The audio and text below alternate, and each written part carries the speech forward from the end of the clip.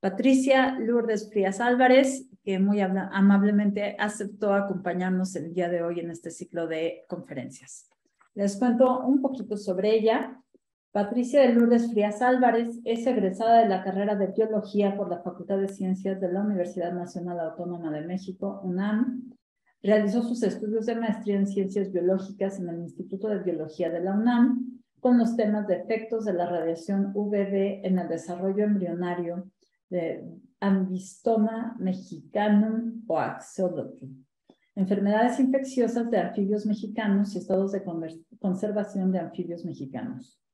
Obtuvo su doctorado con mención honorífica en el Instituto de Ecología de la UNAM con el tema de historias de vida en peces vivíparos de la familia Poeciliadae. Espero que estoy medio pronunciando bien los nombres científicos. Realizó su primer postdoctorado en James Cook University en Townsville, Australia, en el laboratorio One Health Research, con el tema de efectos de enfermedades infecciosas en la reproducción de anfibios en peligro de extinción. Es autora de siete artículos de investigación en revistas indexadas, ha participado como coautora en revistas de prestigio internacional como Science, ha publicado artículos de divulgación y libros y actualmente se encuentra realizando un segundo postdoctorado en el Instituto de Investigaciones Filosóficas de la UNAM con el tema Aspectos bioéticos del uso de animales en experimentación. Patti, es un gusto enorme que hayas aceptado acompañarnos hoy pues bienvenida y te cedo la palabra. Muchísimas gracias, Gaby. Muchísimas gracias a todos. Voy a empezar a compartirla. Bueno, ¿me escuchan? Sí, perfecto, Patricia. ¿Ya se ve la presentación, Gaby? Se ve muy bien, perfectamente. Perfecto. Bueno, antes que nada quisiera dar las gracias al Programa Universitario de Derechos Humanos por su amable invitación y también quisiera dar las gracias por la invitación a Ismael Eslava y a la doctora Gabriela Frías Villegas. Eh, el tema o la plática que voy a, a, dar en estos momentos se llama Observancia de la ética en los animales usados con fines científicos. Bueno, empezamos. Vamos a empezar un poquito hablando acerca de la definición de lo que es ah, de lo que es la experimentación con los animales. Bueno, de todas las interacciones que hay entre los animales y los animales, los animales han sido sujetos de experimentación por más de 2.000 años. Se tiene documentado que en la antigua Grecia se inicia formalmente la experimentación con animales como la entendemos hoy. Pero, ¿qué significa entender la investigación como la hoy en día? Bueno, nos vamos a ayudar con la definición que nos da eh, Miguel Santillán y colaboradores en la que consideran a la experimentación animal a cualquier tipo de prueba o ensayo realizado en animales con el fin de comprobar la viabilidad de una hipótesis o una idea inicialmente postulada.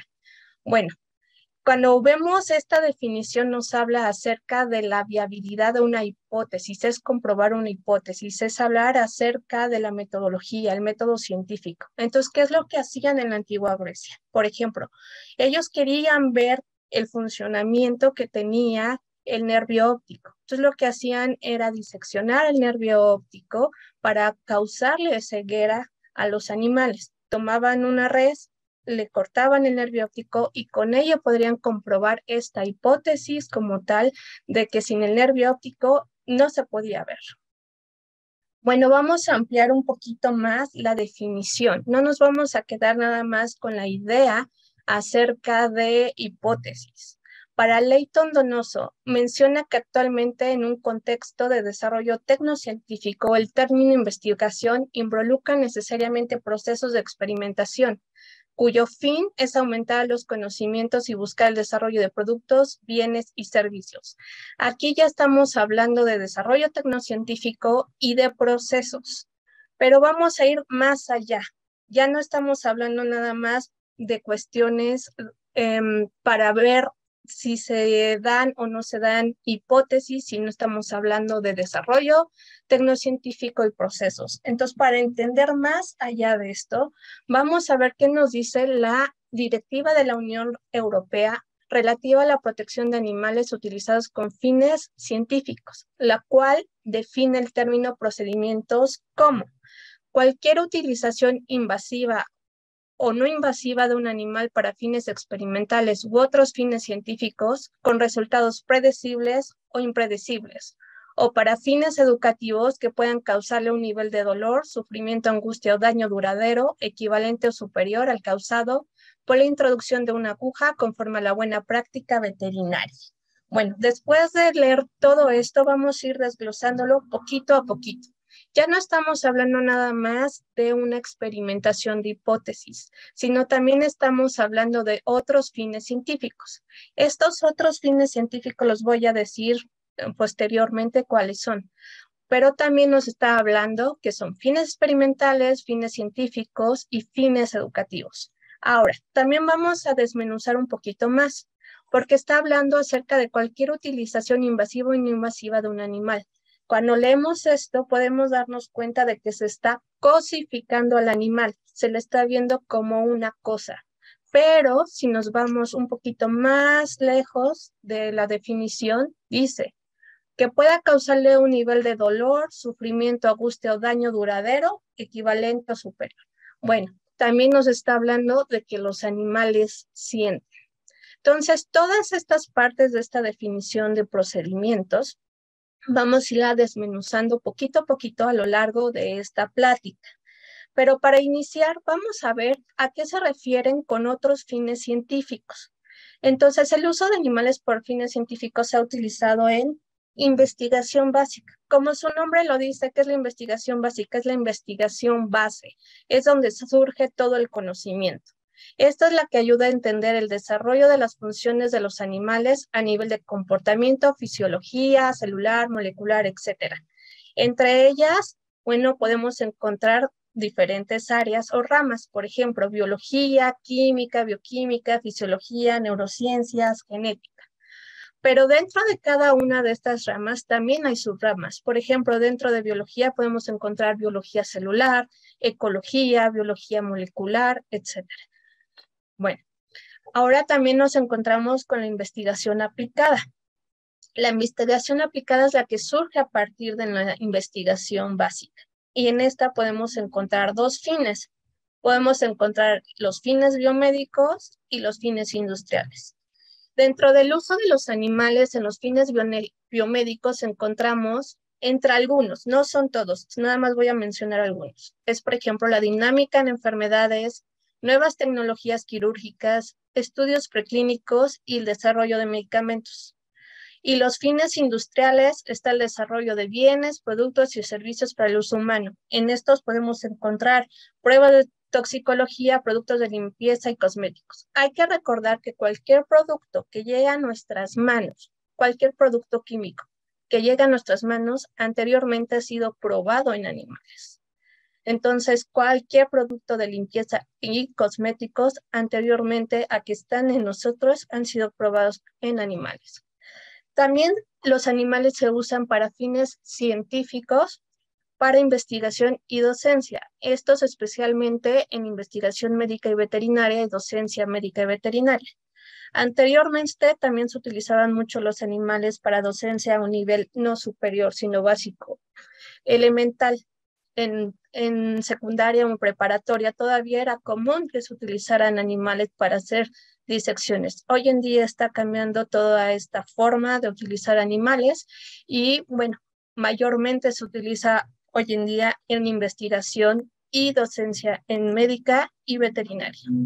Y también se usan para fines científicos para investigación militar. Aquí tenemos dos tipos o dos fines que sería en fines preventivos, que sería para, por ejemplo, vacunas y cirugías, y posteriormente, muy, muy desafortunadamente, con fines ofensivas, por ejemplo, para prueba de armas biológicas, a tratamientos de radiación, veneno y quemaduras. Después de que ya abordamos esto y dejamos en claro cuáles son los fines científicos en los que se usan los animales, vamos a ver lo que vamos a presentar en esta ocasión.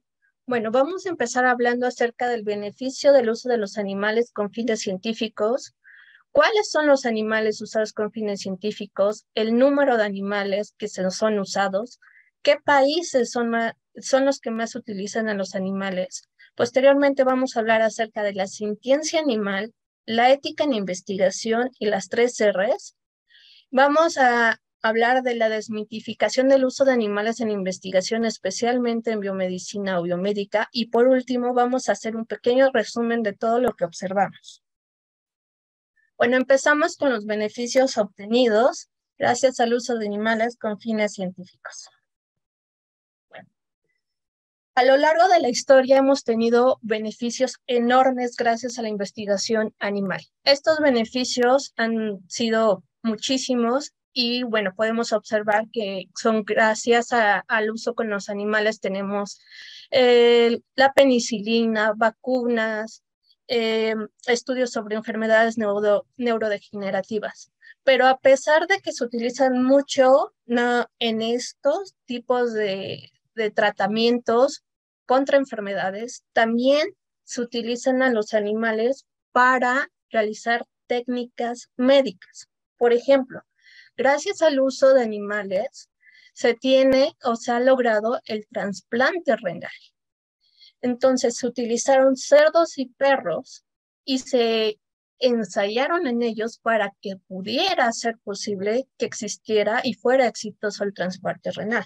Ahora también gracias a la experimentación que hace, se ha hecho en conejos, es que nosotros tenemos hoy en día la posibilidad de tener transfusiones sanguíneas. Y más que eso, también con estas investigaciones se pudo permitir la conservación de sangre durante muchos tiempo. Entonces, lo que quiero que vean, bueno, a continuación se los voy a presentar, lo que quiero que vean en esta presentación es que es muchísimo tiempo que hemos utilizado los animales, que ha sido muchísimas cosas. No únicamente han sido cuestiones de salud, sino también han sido cuestiones técnicas médicas. Y no nada más eso, también se han descubierto cuestiones muy importantes en términos biológicos. Por ejemplo, el descubrimiento de los cromosomas. Y muchísima, muchísima de la información que se tiene acerca de la genética eh, actual ha sido gracias a los experimentos realizados con moscas. También me gustó mucho esta diapositiva porque independientemente de que nos muestra todo el tiempo y todo, todo lo que se ha logrado gracias a la investigación con animal, también nos muestra la gran variedad de animales que se utilizan en la investigación científica.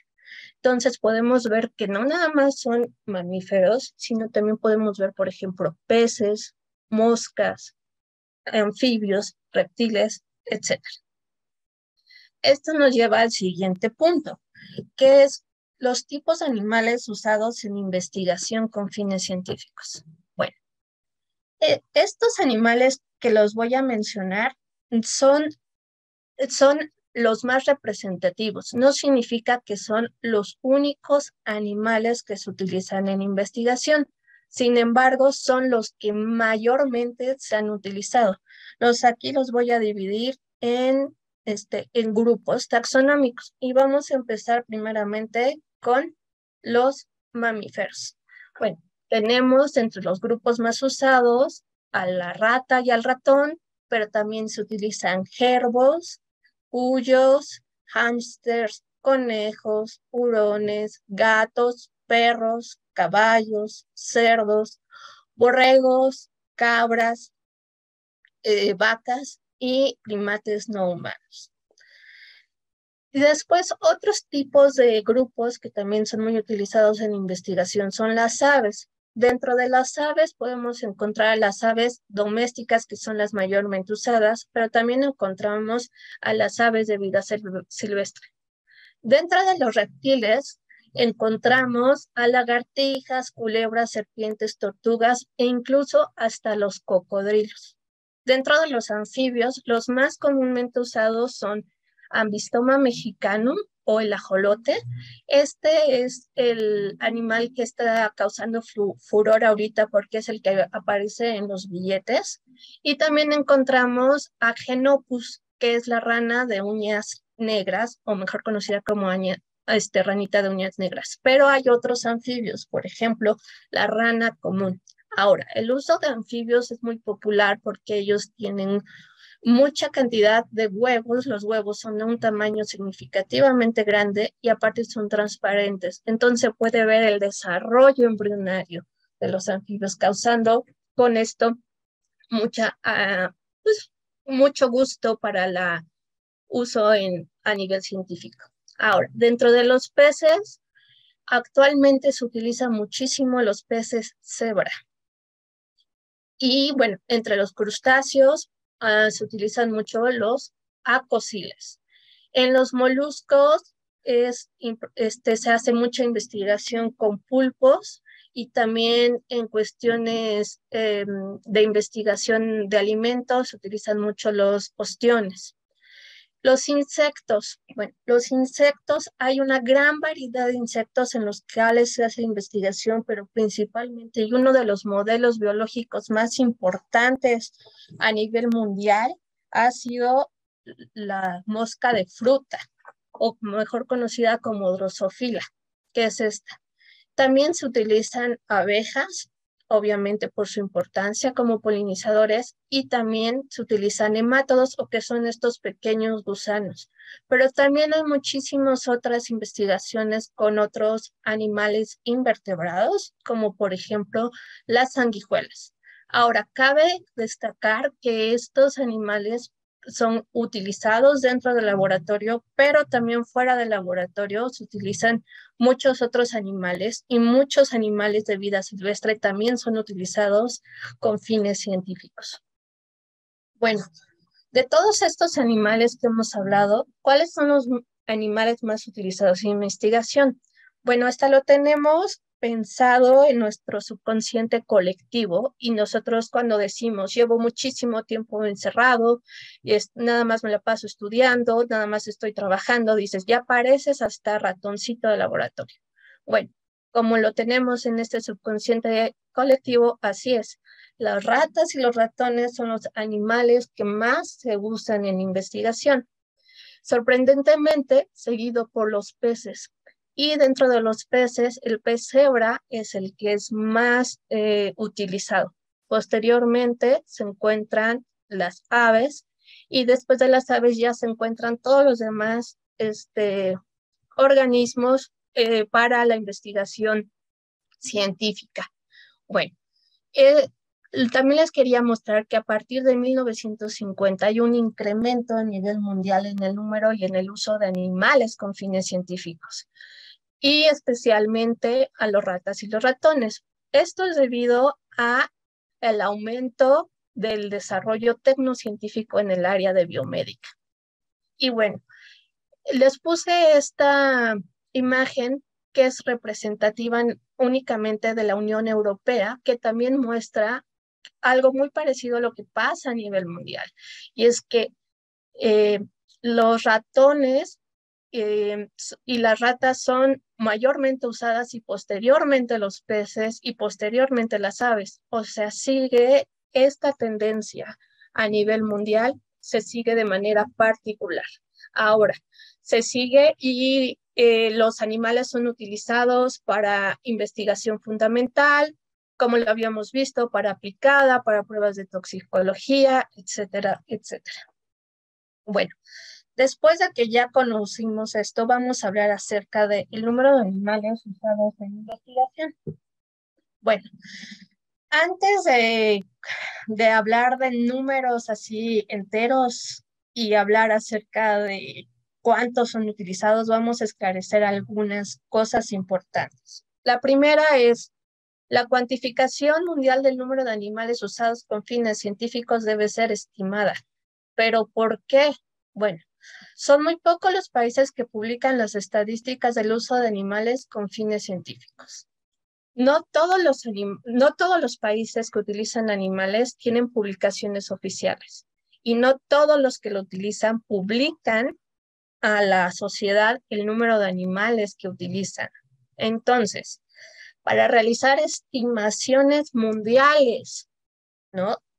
Del número de animales utilizados en investigación, bueno, se tienen que obtener los datos a través de autoridades gubernamentales por medio de sondeo de asociaciones y investigadores y por artículos publicados referentes a la investigación animal.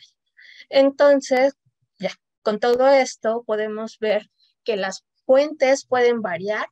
¿Qué, ¿Qué me refiero a que las fuentes pueden variar? O sea, que no vamos a tener el número obtenido, por ejemplo, de todas las autoridades gubernamentales, sino se tienen que ir escogiendo de o obteniendo de diferentes lugares. Y los esfuerzos de estimación toman su tiempo. Ahora, quisiera aclarar que, por ejemplo, los países que publican sus estadísticas del uso de animales en páginas oficiales no los publican inmediatamente. Tiene un tiempo. Por ejemplo, si se, si se acaba de terminar el año de 2021, a finales o a principios del año, del siguiente año es cuando se envían los datos. Luego los procesan y luego son, son subidos a la red o son publicados. Entonces lleva un tiempo eh, específico, no es inmediato, entonces por eso es lo que me refiero a que llevan su tiempo estimarlo y lleva muchísimo esfuerzo. Bueno, para darles un ejemplo, les voy a, platicar de esta investigación, este, que es, yo creo que una de las más certeras. Se salió publicado en el 2019, pero habla de los resultados obtenidos en el 2015. Obviamente esto debido a todo lo que ya les platiqué o los antecedentes que ya les había comentado anteriormente. Bueno, en esta investigación se, obtuvieron los datos de 179 países en los cuales se incluye México y se hicieron la estimación con base a publicaciones científicas. De todos los países que no tuvieron la, que no, que no tienen las publicaciones en páginas o, publicas, o las publicaciones de datos oficiales en páginas, se tuvieron que tomar todas las publicaciones científicas por medio de PubMed y, todos los, y todas las investigaciones y artículos que venían y que utilizaban animales. A raíz de eso se hizo la estimación. Bueno, para el 2015 se calcula que 79 millones de animales fueron usados bajo procedimientos científicos. Con cálculos eh, eh, que también tomaron en cuenta, se observó que ha aumentado casi en un 37% el uso de animales a, través de los años. Esto quiere decir que, que 10 años antes se utilizaban 37 aproximadamente 37% menos de animales. Bueno, estos datos están subestimados. Bueno, ¿por qué? Les explico.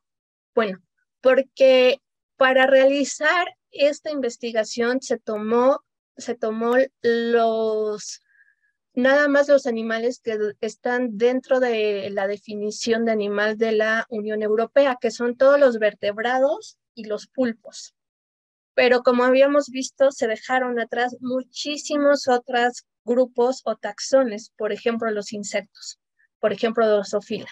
Entonces, está muy subestimado. Y también, obviamente, que todos los, los países que no tienen publicaciones oficiales y nada más se obtuvo a raíz de las publicaciones científicas, todos sabemos que hay muchísimas investigaciones que se realizan y que no son publicadas.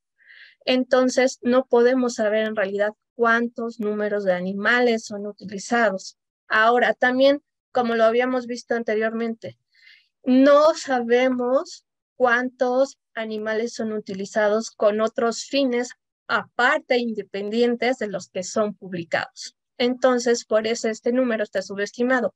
Las últimas eh, los últimos cálculos más o menos piensan que estamos ahorita en más de 100 millones o 100.6 millones de animales usados actualmente.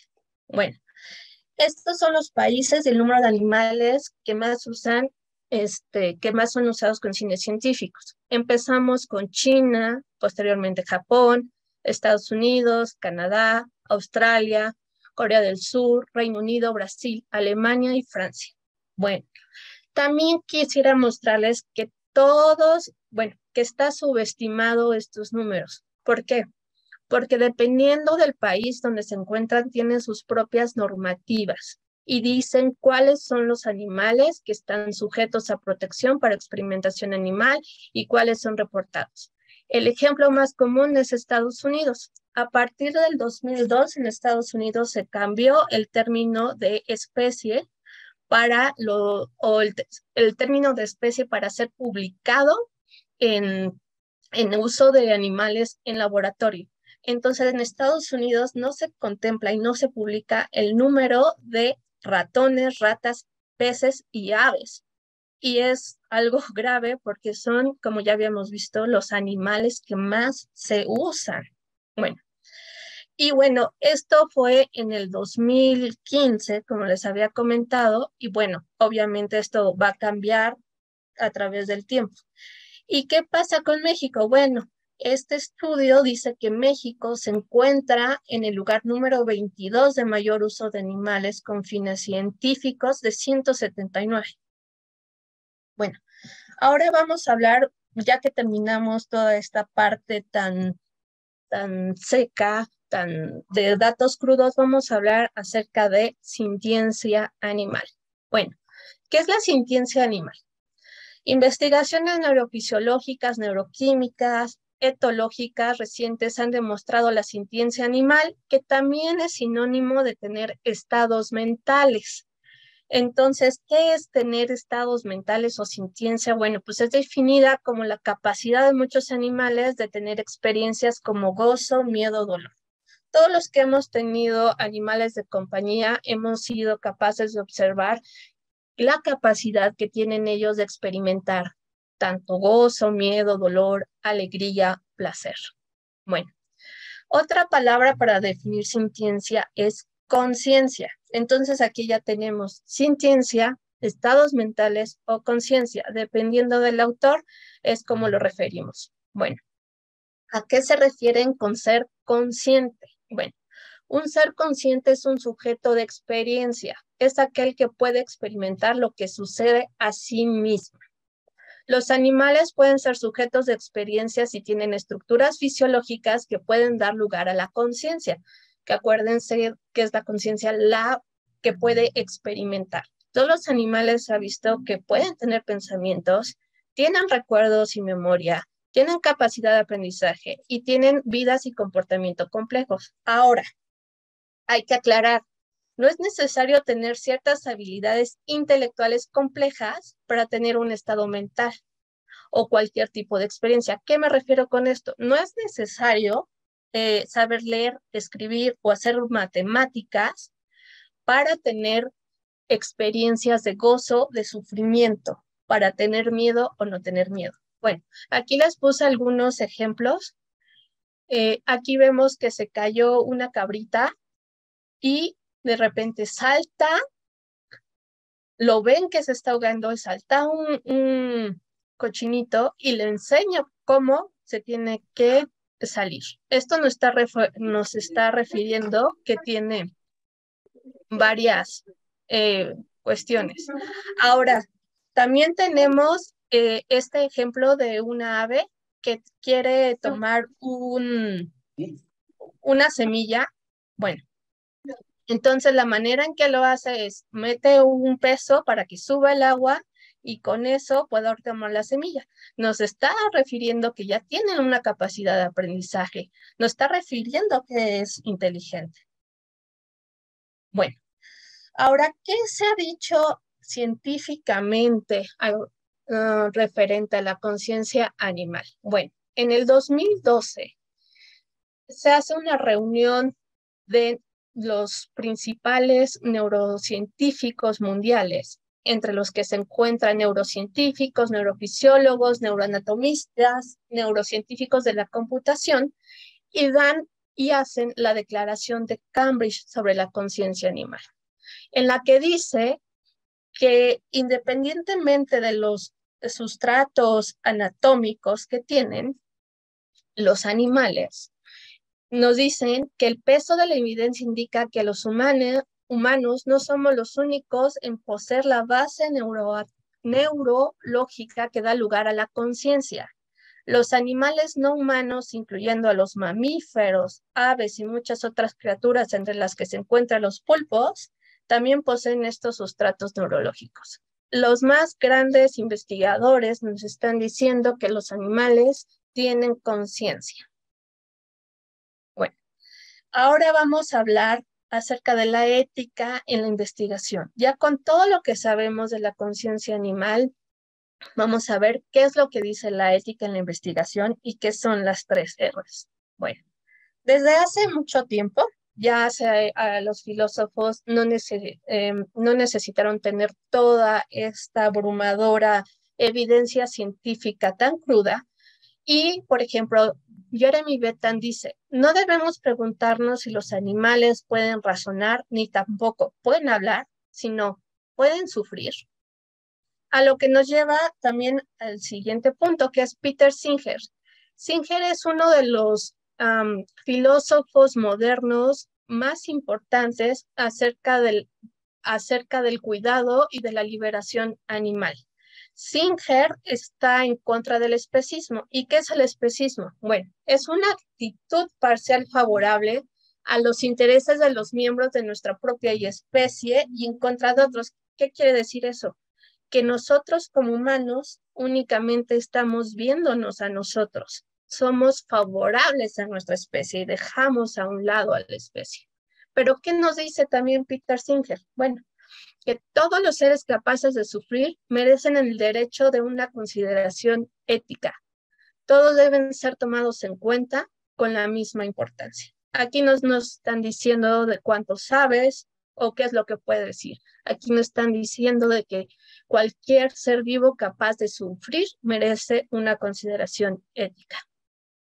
Con esto, yo les haría la siguiente pregunta. ¿Qué sentirías si experimentaran contigo? Ahora, tomamos en cuenta que tenemos, eh, cuando tienes un animal en, en laboratorio, él se encuentra únicamente en una caja, en una pecera, independientemente, nunca va a salir del lugar donde se encuentra y siempre va a comer lo mismo. Y siempre le van a dar las mismas cosas, de comer y agua. Y aparte de eso, te van a tomar y van a experimentar contigo. Entonces, por eso te pregunto, ¿qué sentirías si experimentaran contigo? Bueno, la capacidad que tienen los animales de sentir estados emocionales positivos y negativos nos hace entender que disponer de ellos conlleva responsabilidades. Entonces tenemos que tomar, una tomar en cuenta una perspectiva integral pero ya no nada, no nada más de su salud física, sino también de un bienestar mental. Bueno, en la década de los 60 se establecen los principios rectores para el uso ético de los animales en procedimientos experimentales, gracias a Russell Jambruch, que llaman o inician las tres R's, que son reemplazo, reducción y refinamiento. Bueno, a continuación les voy a explicar cada uno de ellos. También actualmente ya se habla de la cuarta R o la R de responsabilidad. Cualquier investigador o persona que tenga contacto con un animal para fines científicos debe de tener la responsabilidad que llega con ella. Y también la responsabilidad entra dentro del reemplazo, dentro de la reducción y dentro del refinamiento. Bueno, Empezamos con reemplazo. El reemplazo es entendido como, como la aplicación de métodos que sustituyen o evitan el uso de animales. Puede haber de dos formas. Pueden ser los reemplazos completos y los parciales. Los reemplazos completos se refieren a los métodos que evitan el uso de animales para uso científico, entre los que se incluyen, por ejemplo, voluntarios humanos, cultivos de células, y tejidos, modelos matemáticos y modelos en computadora, líneas celulares o estos modelos que aquí podemos observar, que son modelos para enseñanza. Entonces, actualmente ya no necesitas tener un animal vivo para poder inyectar, bueno, para poder ensayar las nuevas técnicas, desde cómo realizar una inyección o para conocer la anatomía dentro de estos reemplazos es cuando ya llegan aquí todo lo que son los nuevos métodos alternativos al uso de animales, que es que llega aquí toda la tecnología que está siendo este, que está dando muy buenos resultados y que está siendo muy alentador para dejar de utilizar a los animales. Bueno, y también se encuentran los reemplazos parciales. Bueno, ¿qué quiere decir con esto? Bueno, en vez de utilizar a los animales que comúnmente se usan, se están, se están utilizando los animales que con base en los pensamientos científicos actuales no son se piensa que estos animales no son capaces de experimentar sufrimiento. Por ejemplo, los invertebrados, por ejemplo, los nematos, ¿no? Esto ya caería en otro tema o otro dilema ético porque eh, se piensa, bueno, y se sabe que sí tienen y sí se experimentan sufrimiento en ellos. Pero bueno, hasta actualmente eso es lo que se refiere a reemplazos parciales. Y también se incluye tejidos tomados de animales muertos para el propósito. O sea, ya, ya, se ya matan a un animal y utilizan el, eh, el tejido del animal en vez de que el animal esté siendo utilizado constantemente para la experimentación. Ahora, reducción. Bueno, se refiere a los métodos que ayudan a reducir el número de animales que se usan en, en experimentación. Bueno, para hacer, una, para hacer una reducción, primero se necesita un diseño apropiado y análisis de datos. ¿Qué quiere decir esto? Que cuando tú vas a hacer una investigación debes de decir el tamaño de muestra que vas a utilizar. Anteriormente se decía, entre mayor número tienes o entre mayor número de animales tienes, mejor te van a hacer tus análisis estadísticos. Ahora se ha visto que no es cierto, que se necesita tener un tamaño de muestra adecuado a tu tipo de investigación. Por ello, para hacer una reducción se tiene que diseñar apropiadamente y tener un análisis robusto de datos. Hay programas como GPower que se encuentran en en Internet y que te pueden ayudar a realizar este tipo de diseños. Bueno, también es la recopilación de la máxima información posible por animal. ¿Qué significa esto? Si tú estás utilizando un animal y quieres ver, por ejemplo, los efectos de cierta droga en el hígado, también puedes utilizar otros tejidos, por ejemplo, corazón, cerebro, pulmón, intestinos. Eso es a lo que llamamos recopilar la máxima información posible por animal para que no se utilice otros animales para la misma sustancia, pero ahora en otro, en otro órgano. Bueno, también es compartir recursos y datos entre grupos y organizaciones. ¿Por qué? ¿Qué es lo que pasa?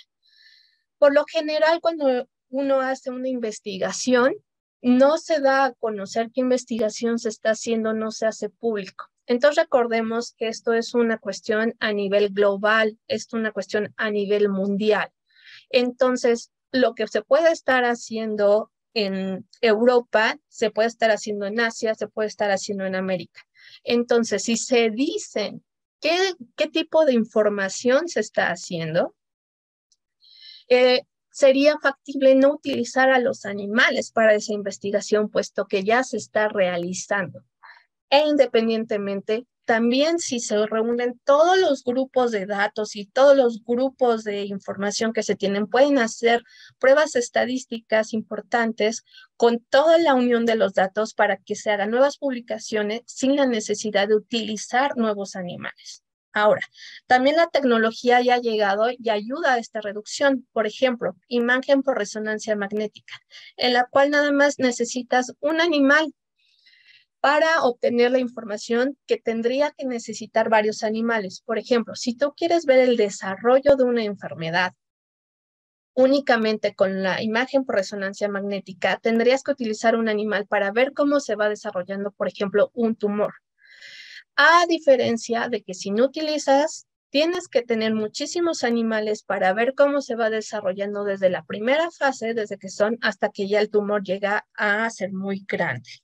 Bueno, ahora vamos a hablar acerca del refinamiento. ¿Qué es el refinamiento? Bueno, son todos los métodos que ayudan a minimizar cualquier dolor, angustia o sufrimiento innecesario que mejoren el bienestar animal.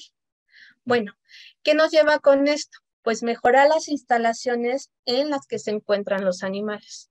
Aquí les muestro un pequeño video acerca de los ratones.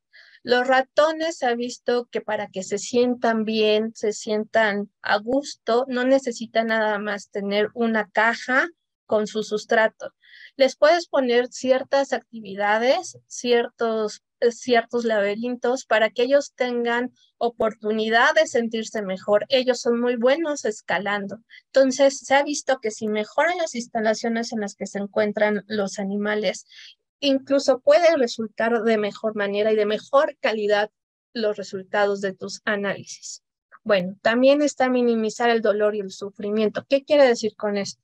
Bueno, ya que vamos a experimentar con animales, vamos a hacer todo lo posible para que ellos tengan el mínimo dolor posible y el sufrimiento y ver cuál es el momento indicado para darles una eutanasia humanamente digna y sobre todo procurar el bienestar. Bueno, para procurar el bienestar vamos a hablar de las cinco libertades o dominios. Bueno, ¿qué son estas? Son las necesidades mínimas que deben de tener todos los animales, además de qué son los indicadores del bienestar animal. Entonces, tenemos todos, para que estén con bienestar, todos los animales deben de estar libres de sed, libres de hambre y mala nutrición. ¿Y cómo podemos lograrlo? Bueno, primero, pues proporcionándoles que tengan acceso a agua, a una dieta que tenga todos los nutrimentos necesarios. También que estén libres de incomodidades. ¿Y cómo lo podemos hacer? Bueno, pues proporcionándole una mente apropiada, ¿no? Que incluya un lugar donde puedan descansar, donde se puedan refugiar, donde se sientan confortables. También que tengan otra libertad es que estén libres de dolor, lesiones y enfermedades. ¿Y cómo lo podemos hacer? Bueno, pues gracias a la prevención o por un diagnóstico y un tratamiento rápido y tener veterinarios em, a disposición de los animales. Libres para expresar su comportamiento normal. Bueno, ¿cómo podemos hacer? Dejándolos ser ellos y dejando ser al animal tal cual son. Entonces le podemos proporcionar un espacio suficiente, eh, y aparte compañía de otros animales de la misma especie, si es que son sociales. Y bueno, y libres de miedo y sufrimiento emocional. Con esto les vamos a asegurar condiciones que inviten sufrimiento mental.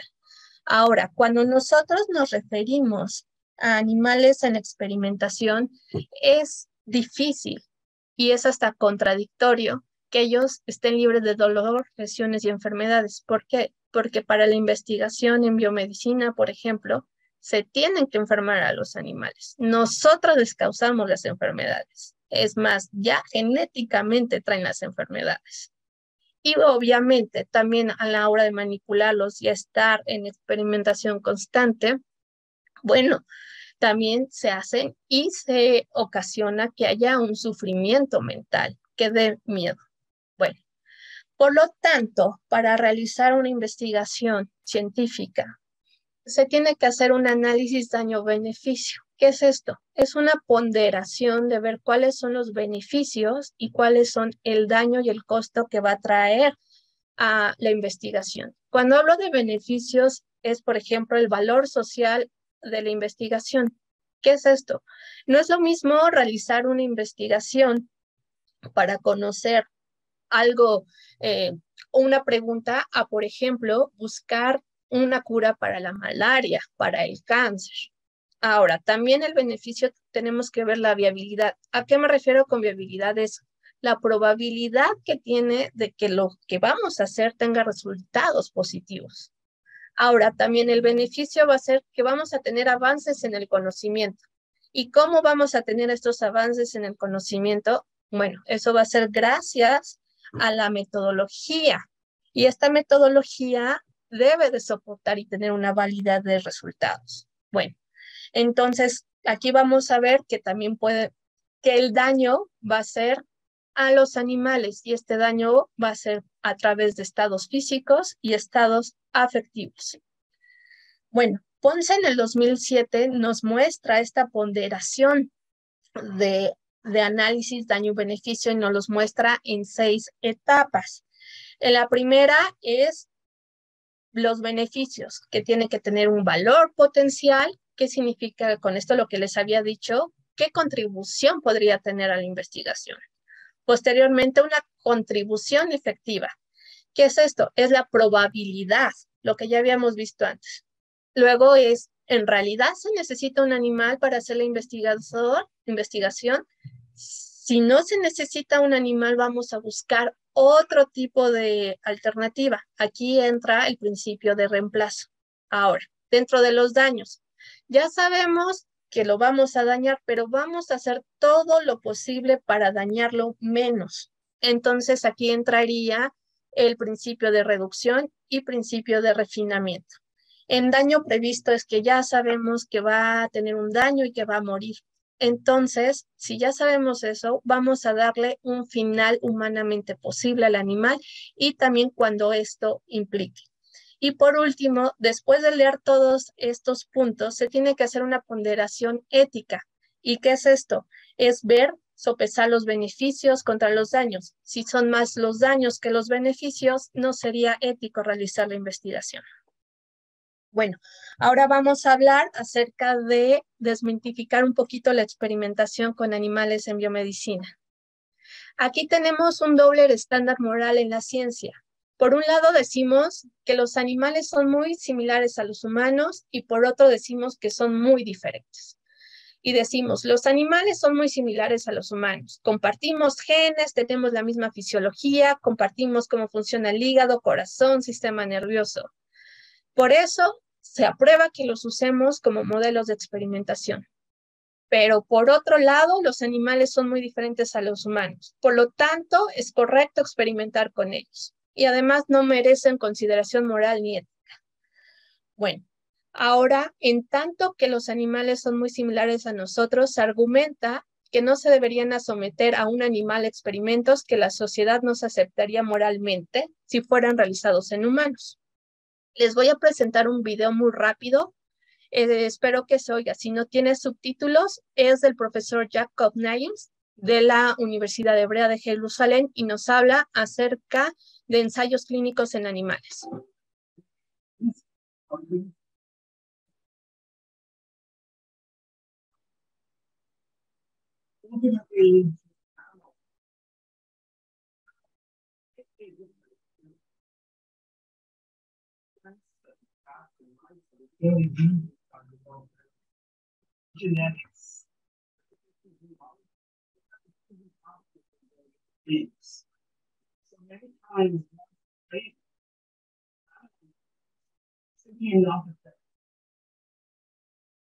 Bueno, ya lo escuchamos de viva en voz a un experto en ensayos clínicos.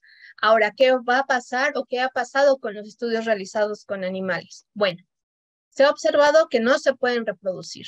Se observó que de 53 artículos estudiados, el 98% de estos que eran cáncer no se pudieron reproducir. ¿Qué quiere decir que no se pueden reproducir? Que no se pudieron volver a hacer. Esto es debido al diseño experimental pobre y que tenían informes incompletos. Ahora, como les había dicho en un principio, no se publican. Cuando tú haces una investigación y estás utilizando animales, el fin último es la publicación, pero muchas ocasiones no se publican. ¿Por qué no se publican? Porque no salen los resultados significativos, porque únicamente se quedan en tesis y no salen publicados. Por lo tanto, no hay ganancias de conocimiento, hay desperdicio de recursos y aparte otra vez utilizas este, animales porque si no se publican sabes que ya no, se ha hecho esa investigación. Y dependiendo del autor, se menciona que del 33 al 50% de los, de los trabajos utilizados con animales no son publicados. Y bueno, no llegan ensayos clínicos. De este estudio, de 76 estudios realizados con animales, 18 fueron contra, el 18% fueron contradictorios, no se tradujeron ensayos clínicos el 45% y el, únicamente el 37% sí se replicaron en humanos. De este 37%, únicamente el 10% de los estudios realizados con animales fueron autorizados en el uso de pacientes. Esto significa que el 90% de los estudios realizados con animales en biomedicina para, el uso de medicamentos fallan.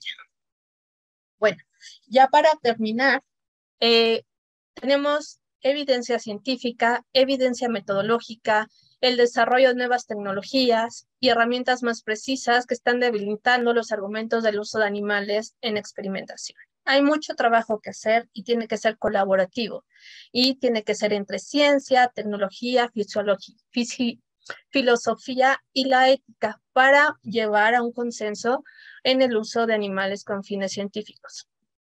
Bueno, sabemos que actualmente los animales se van a seguir utilizando. Bueno, si vamos a seguir utilizando, tenemos que usar las cuatro R's, un análisis daño-beneficio y tener una responsabilidad social y ética. Muchísimas gracias. Muchísimas gracias a ti, Patti. Qué plática tan interesante de un tema absolutamente relevante y con muchísima relación para los derechos, con los derechos humanos. Patti, hay muchísimas felicitaciones. La gente dice que qué plática excelente, tan padre diste, tan interesante. Y este, yo tengo eh, algunas preguntas que quisiera hacerte antes de pasar con nuestra siguiente conferencista. Quería preguntarte si existen regulaciones legales eh, a nivel nacional o internacional para el uso de animales en la experimentación sí existen y esto va a depender del país en los que se encuentran. Por ejemplo, en Estados Unidos está la, ah, la ley de protección, de, protección animal, que es la ley de bienestar animal, en las que se estipula em, a los animales en investigación. Como, como se los había comentado, dependiendo del país van a ser las regulaciones. En Estados Unidos sí se regula y, en, y se pide, por ejemplo, que todos los animales que se utilicen en investigación tienen que ser reportados y se diga en qué, cuántos fueron y en qué se utilizaron. Eso es en Estados Unidos. Por ejemplo, en la Unión Europea también está la directiva de la Unión Europea, que todos los miembros de la Unión Europea tienen que tener em, esto mismo de que se tienen que publicar este, los el uso de animales en que se publican y además algo muy importante, ellos reciben visitas a los lugares donde son checados cómo se encuentran los animales. Entonces, sí hay regulaciones. ¿Qué hay en México? En México tenemos la NOM 62, que es la encargada en ver cómo se cuidan a los animales en experimentación. Esta está encargada más bien a bioterios. Sin embargo, en México no se piden el número de animales ni las especies que son utilizados. Entonces, no hay como una regulación como tal. Ahora, lo que se está implementando en México es que ah, los lugares donde se experimente con animales deben de tener sicuales. ¿Qué son los sicuales? Que son estos Em, consejos éticos para el bienestar animal, en los cuales son responsabilidad de las personas que están dentro de la institución de revisar el experimento, ver que tiene todas las condiciones adecuadas para que se lleve a cabo y realizar este balance que te había comentado de que daño y beneficio. Pati, eh, a mí me da la impresión de que gran parte de, las, eh, de los experimentos, o sea, por todo lo que dijiste, desde luego, que los experimentos con animales pues son innecesarios, ¿no? Simulaciones, reemplazos, todas estas cosas, ¿no?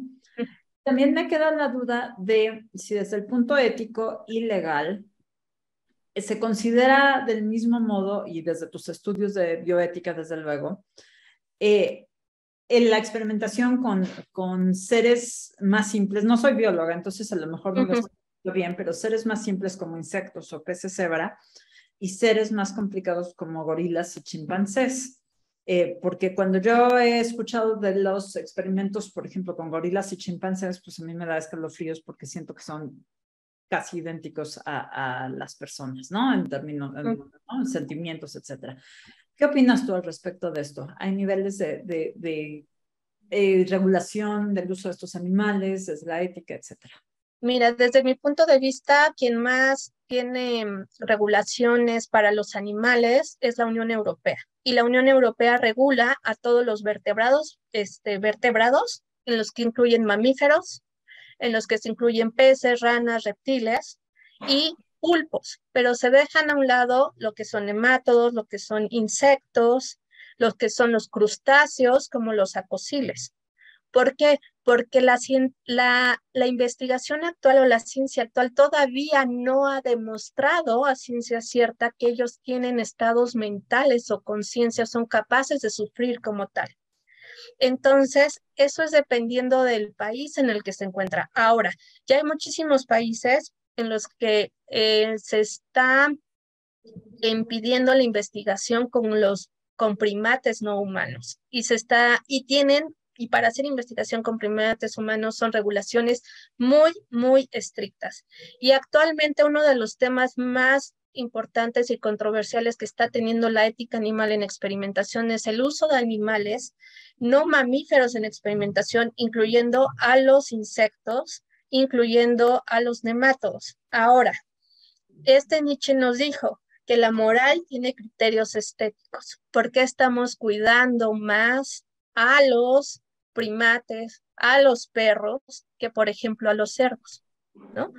¿Por qué a los humanos nos duele más eh, experimentar con animales más similares a nosotros que, por ejemplo, con las ratas o con las cucarachas o los insectos? Ahora, hay investigaciones hechas en drosofila, que es la mosca de fruta, que si se hicieran en humanos serían atroces. Pero bueno, gracias a eso hemos te digo, es una ponderación. Gracias a eso sabemos mucho de la genética. Por ejemplo, gracias a las investigaciones con drosofila sabemos que hay genes que regulan el que se tengan patas y antenas. Bueno, con eso sabemos que hay genes, gracias a eso, que con eso tenemos brazos, ¿no? Brazos y manos. Entonces, por eso se argumenta que tenemos que tener investigación que no debe de ser permitida a los animales, que no fuera justificable para los humanos. Pues está interesantísimo, Pati. Creo que podríamos seguir hablando de esto por horas, pero tenemos que seguir con el programa. Entonces, te agradezco enormemente tu participación en este ciclo. Nos encantaría seguir platicando y colaborando contigo en estas cosas que, que son en este tema tan relevante también para los derechos humanos y, desde luego para los derechos de los animales. Muchísimas gracias. Un abrazo. Gracias a ustedes. Y espero que nos pronto. Gracias.